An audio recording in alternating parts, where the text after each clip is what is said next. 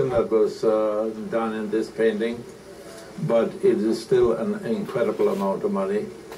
So let's take a look at this painting, and I'll ask the control room to bring it up, the Salvator Mundi, and give us an art lesson, if you will, Uno. What is it that makes a painting like this worth Well- a lot of money?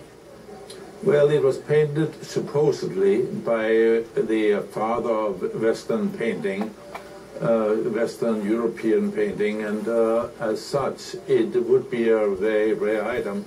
There was only about there's only about 15 now 16 known paintings, as far as I know, of uh, Leonardo da Vinci, and uh, and I think that is part of the. Uh, the rarity of the painting is um, speaks for itself. And, and the only one in private collection.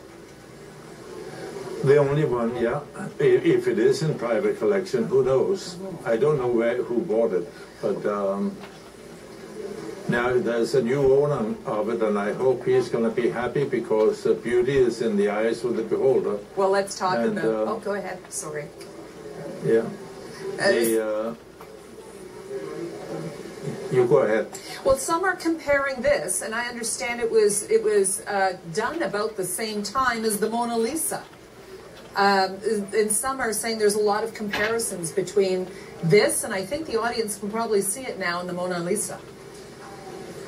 Yes, there is a lot, but uh, first of all, I would want to know the condition of the painting before, when uh, we are doing an appraisal of it. Uh, the first thing I usually do when I look at a painting, I look at the back of it and see how it is, what it is painted on. And then I look at the front and I uh, look at um, if there is any restoration. And um, after, sometimes you need a little bit of help with uh, seeing the restoration, but uh, a black light will usually point out the This amount of restoration. this painting was missing for a long time. What happened?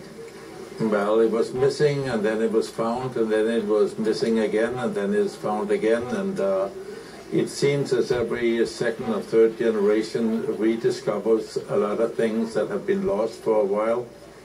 Usually it's because there was nobody to authenticate the item in the meantime. So they turn up. It, it's like a cycle, and uh, things turn up in uh, in the weirdest places. And this one here had been sold for 15 pounds apparently back a long time ago, and then it sold for ten thousand dollars in America, and then the price went up and up and up. Yeah. How influential is Leonardo da Vinci today? Well, he is one of the fathers of Western painting, so uh, he is very important.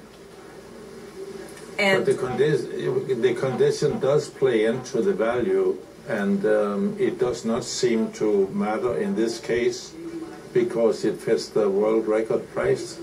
So, Yeah, and by the way, yeah, it's a record four hundred fifty million dollars at the New York auction. So that was uh, that was quite incredible tonight. Uno Yes. Langmann, owner of Langmann Fine Art Limited, thank you so much for being with us tonight. you're welcome. All right, we'll be right back.